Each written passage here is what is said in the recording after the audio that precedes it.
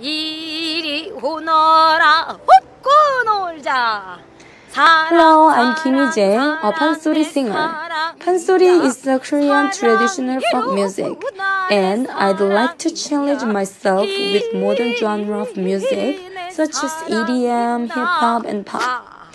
In 2015, I've checked the possibility of this project by busking pansori on the streets of London and started to make plans to mix pansori with electronic music with some artists. Currently, I'm working with EDM DJ to create a unique sound of pansori and electronic music mix. Salut, c'est Will Candy, DJ compositeur français au Japon.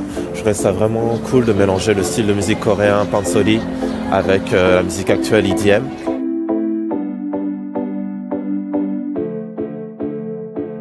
I think this new collaboration of mixing pansori with other modern genre of music can create amazing synergy.